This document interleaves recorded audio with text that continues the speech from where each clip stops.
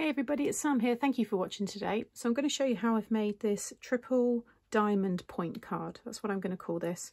Now you can have it as a top fold, as I have it here, or you can have it as a side fold. I think that looks really nice as well. So it's entirely up to you.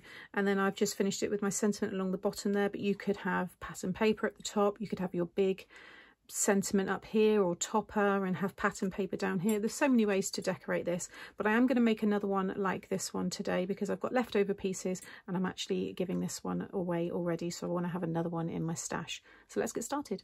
So for the flowers, I've used my Funky Florals. You get 14 dies in this set. So you get your three here, which will make this kind of flower. Then you get these three here, which will make ones like this. You've got the centres and stuff as well. And then you've got these three here, which will give you a flower like this.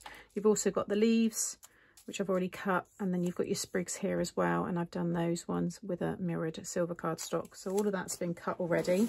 For the sentiment, for the first one, I used a little something just for you, which is this one down here. And then this card is going to have this one, which says wishing and hoping and dreaming. So it's like a just because card really. And this is an old woodware one-liners, but it might still be available. As always, all of the products that I'm sharing today I'll link in the description box below. So it's a really easy one to do. So you just need a six by six card blank, or if you're making your own, you want a piece of 12 by six. And along the 12 inch side, you're going to score at six inches and just fold and burnish. So you have your card there. You also then want your mats and layers. So I've got this black piece, which is five and five eighths by three and five eighths. And then the white piece on top was five and a half by three and a half. And that one will go on the top of this once we've trimmed away the bottom here. You'll also then want three pieces of one and three quarters squared and then three pieces of one and a half squared. So what we want to do is take the card and open it up and you're going to cut away two inches from the bottom. Okay, so now we've got the fold. This piece here, you then want to cut down. So you've got three pieces of two by two. So I'm just cutting that piece two inches and then this piece. You're just dividing it by three. So whatever size card you have, whether it's a shop brought, just measure the length and divide it by three. And that's what you want to cut your sizes to. So whatever the, the length is, you want to cut that width off the card so they're exact squares. Okay. So I'm going to stick this piece now on the top of here. So this one's going to have a thicker white border with the thin black border, whereas this one here got a slightly smaller white border. Just up to you how you want to do your mats and layers. You want to stick that one down first. I've just done a very light stencil design on there just to break up that complete white surface. You also want to cut yourself a piece of five and three quarter squared, which I'm just sticking inside the card here.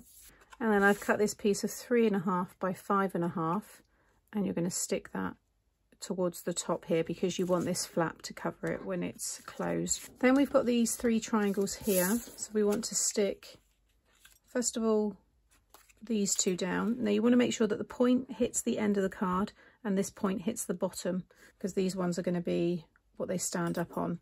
So I'm going to just use some of my quick grab glue and I'm just going to pop a little bit just on the top point there.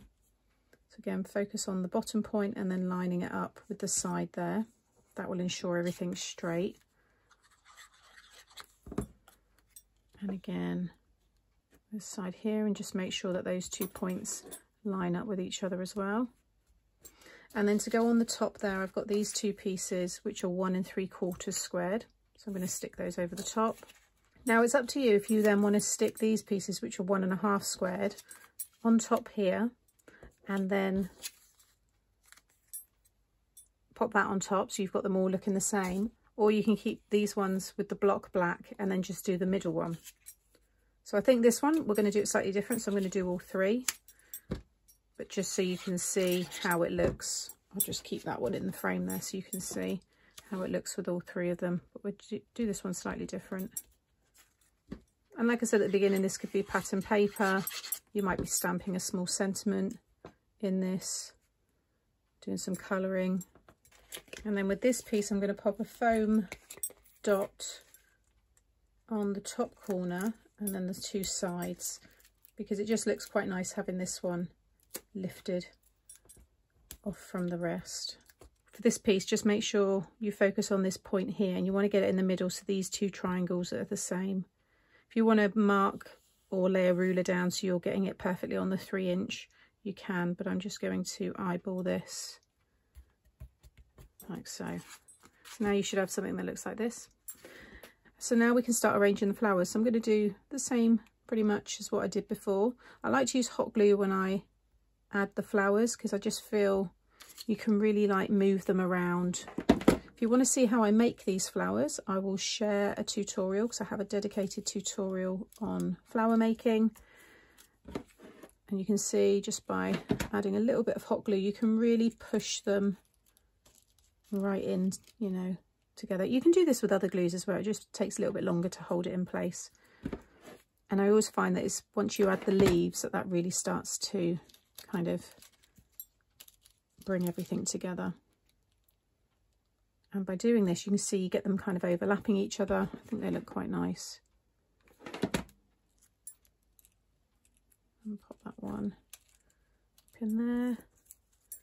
And then bring that one down like so. Okay, so now I'm going to start feeding in all of the leaves. I'm going to speed that part up.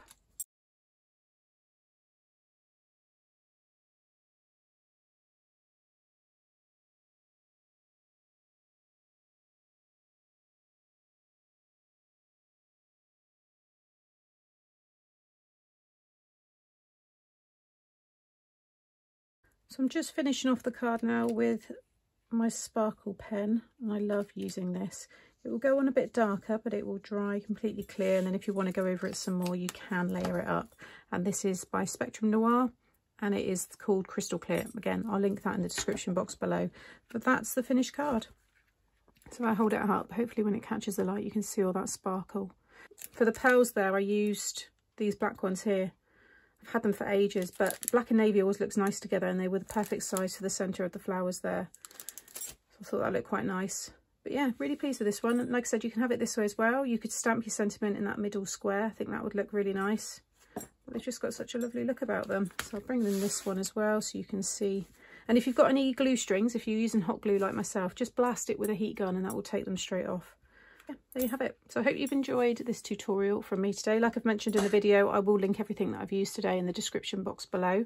If you're new to my channel and you've enjoyed this video, please consider subscribing. It really helps out my channel and hit the notification bell as well. And that way you'll be notified every time I upload a new video.